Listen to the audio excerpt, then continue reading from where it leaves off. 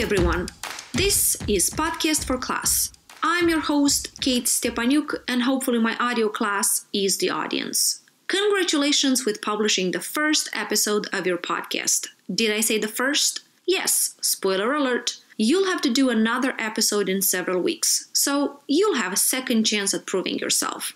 I am curious, how did you enjoy the podcasting experience? You see, some people think that after their episode is published on a hosting platform, they are done, they can finally breathe. Others assume that if they've promoted it on social media, then they're completely done with it. Both of these categories are missing a very important component that every podcaster should consider post production research. Why is it important, and should podcasters invest their time in doing post production research? My answer is yes, yes, and did I say yes? To get a good understanding of how successful your show is, you should do a comprehensive post production research. Looking at the good points of your show and learning from the weak ones is going to help you improve and become a better podcaster. What are some things you should look at? Check out the stats for your episode. Did you get the number of downloads you were hoping to get? If you didn't, what is the possible reason of that?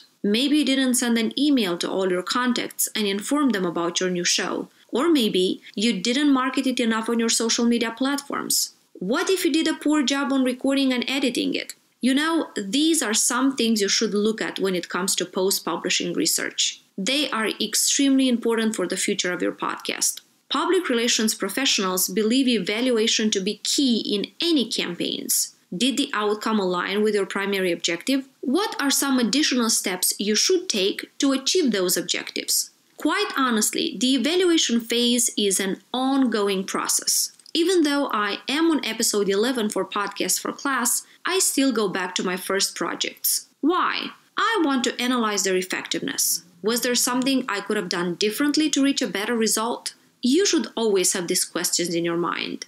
To make post production evaluation even more practical, reach out to friends and people you trust. Let them listen to your show and ask for their honest opinion. Did they like it? Was anything in the show confusing or misleading? Ask them how you did on enunciation and voice tone. Pay attention to their input, and if there are things that can be improved, go ahead and apply them. I've got a great friend who's been listening to every single episode of Podcast for Class. She'll be probably listening to this one too. Friend, you know who you are. Thank you for taking the time to listen and to give me feedback. It's been extremely helpful. A second route you can take is to talk to a professional in the field. Reach out to someone you know that could give you their most objective insight on your shows. Now, it's extremely important you approach their analysis with professionalism. Don't take anything personal. If there is space to grow and improve, go ahead and apply their suggestions. And finally, you could and you should pay attention to what your audience says on social media. If you get a positive interaction, it means you've been successful with your show.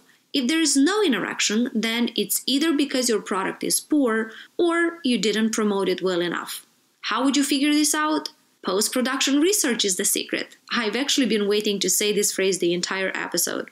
Okay, are you ready for this week's assignment? Go back to the episode you completed last week do some post-production research on it and identify what could you have done differently to end up with a better show. What are some additional steps you should take to reach your expected objectives? This was Kate Stepaniuc with Podcast for Class. I look forward to having you as my audience again next week when we'll talk about duties and responsibilities of a radio programmer.